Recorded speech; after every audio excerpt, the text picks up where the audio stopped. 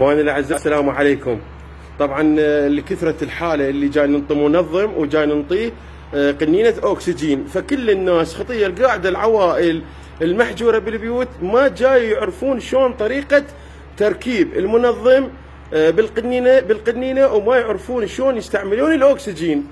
إحنا ناس مو بالصحة وما نعرف اتصلنا بالأخ البطل المجاهد حفظ الله حسين إسماعيل وإجانا للبيت حتى يوضح لنا الحالة وكيفية استعماله. وهذا طبعا الفيديو كلش كلش كلش مهم وإحنا جدا جاي نعاني من هاي الحالة. يعني اللي ياخذ من عندنا آه، الأكسجين وياخذ من عندنا المنظم ما جاي يعرف خطيه فإحنا سوينا لكم هذا المقطع انطوه مشاركة للعالم والأخ ابو علي راح يتفضل يشرح لكم الطريقة. جزاكم الله خير.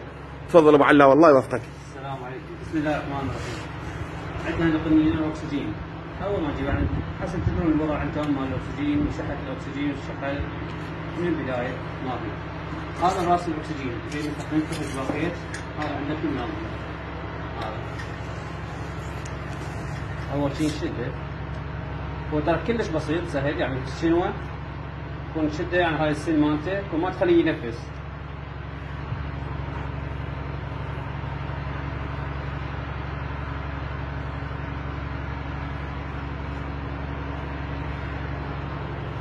طبعا بالمناسبة هاي المنظم هو يركب على هاي القنينة ويركب على القنينة الكبيره ماكو نفس الشيء نفس الشيء، نفس الشيء. ماكو فرق بس إحنا للسهولة آه، جاي نصور بالزغيرة لسهولة العمل شتاء نعم. عزيزي والله يشافي كل مريض بحق الزهرة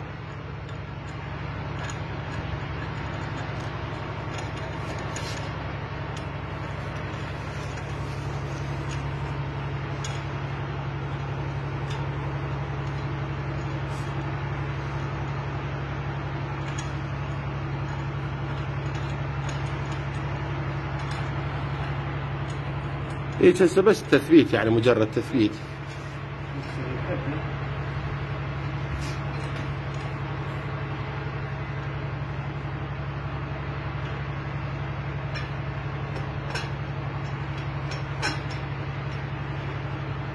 بس تحتاج هاي ثبتناه إيه تحتاج عندك سكوت سبانس نعم؟ الضبة يعني حتى ما يطلع من عنده هواء الضبة؟ إيه. ها؟ عمود ما يطلع عنده هواء هاي واحدة. شغله ثانية آه، أبو عباس. بيه. إيه عزيز. هاي. إيه. القنينه عندك هاي نعم. ادرسها ماي. ماي. water كاتب لك عندك هاي. water نعم. الخط. نعم. هذا خليه بماي إيه. هاي صار عندنا هسه قنينه جاهزه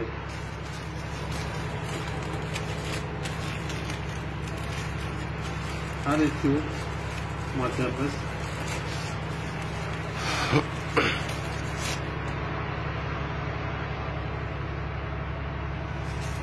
يتركب كلش سهلة وبسيطة. إيه ابو علي هي سهلة عندك ها؟ وعندي ولكن كلش كلش صعبة عند الناس اللي ما تعرف القضية. ها، إيه. تقدر تكبرها صغيرة إيه. تقدر. تلبس بعد تعرفها. نعم. الماسك. أكو هذا نوعين أكو ماسك ثاني آه. ماسك مو هذا. عندي ماسك. خلي أجيب لك الماسك.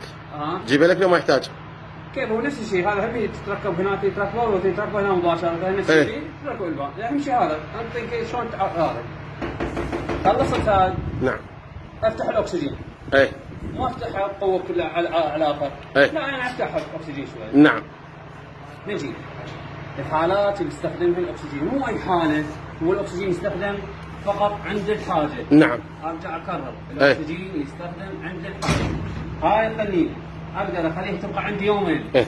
تبقى عندي ثلاث أيام. نعم. وأقدر خلال ساعة أخلصها. فعلا. ها؟ أول ما تستخدم القنينة تفكر شلون من تخلص شلون راح تمليها تعرفون كل زين تعرفون من تملونها أكسجين ماكو. والشحه عدم الأكسجين. لازم أقتصد بهذا الشيء لأن هي أول شيء تفيدك انت لمصلحتك وثاني شيء هذا. من أفتح الأكسجين؟ عند الحاجة. فقط عند الحاجة. نشوف روحه مختلق ممتلك كلش يختلق يحتاج أكسجين. أستخدم الأكسجين هاي. أفتح الأكسجين من هنا وأنطي درجة. إذا أنت مختلق يعني مو كلش زين يعني تو بدأت ارتلك أنطي درجة خمسة. هاي. اعطيه شوف هاي اتحكم بيها هاي الصجمه تصعد لفوق. ها؟ وأنطي درجات. درجة خمسة. مثلك لا والله أنت شفت روحك ويعرف كل مريض أو ذوي ها؟ يعرف آه، مريض هو مثل يحتاج مختنق ليش يحتاج أكسجين مثل كمية أكثر أو هاي. يحتاج مثل مختنق كيش يحتاج كمية أكثر ها؟ أقدر انطي ازوده جرعه من هنا هاي زوده هاي نسبة 10 انطي لا سامح الله ضاعف كلش مختنق يعني كلش قام ما يتنفس ها؟ وإن شاء الله ما يعني يقدر هو بهاي الحالة يعني ما يقدر يروح مثل مثلا المستشفى. أي. أو ما يقدر إذا ما يقدر يروح المستشفى يعني مثل الزوجة درجه 15 هاي كلش درجة عالية. ما راح إن شاء الله الله يكفيكم إن شاء الله ما راح توصل إن شاء الله لهاي الدرجه يعني درجة خمس فقط عند الحاجة أرجع وأكرر الأكسجين. عند الحاجة. حتى يكفيك هاي القنينه هي القنينه الكبيرة ها آه تبقى عندك ثلاث ساعات أو أربع ساعات مستمرة. كبيرة. كيف إنه هاي؟ هاي تقدر تخلصها بساعة أو ساعتين ها؟ وتقدر قدر تخليها تبقى عندك يومين أو ثلاثة. الحمد لله والشكر ها؟ وأنتم وشفانا الله وشفاكم من كل رحم الله والديكم والفاتحة الحج إسماعيل. أي واحد يتع- شوف يواجه صعوبة بس يتصل علي على رقمي أو على أبو عباس. ها؟ أنا أجيب سيارتي للبيت. اجهزه وكمله كله وأنا بخدمتك الله يحفظك أبو علي واخوانا اسالكم الفاتحة إلى روح المرحوم حج إسماعيل. والد البطل حسين ووالد إخواني علي ومحمد. الله يحفظكم. نسألكم الفاتحة. هذا العمل نهديه لثوابه الله يوفقكم ويستر عليكم.